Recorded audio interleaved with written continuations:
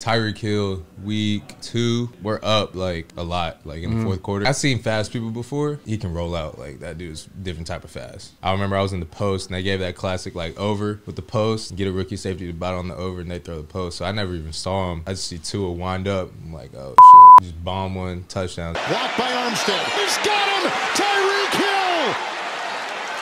Every single week in the league, it's not guaranteed. At Notre Dame, we'll play a really big game, and then we'll play like FCS school. We're supposed to win. In the league, it's like you got this dude, this dude, back to back to back to back. We didn't get blown out or blow out anybody the whole season. It kind of doesn't really happen.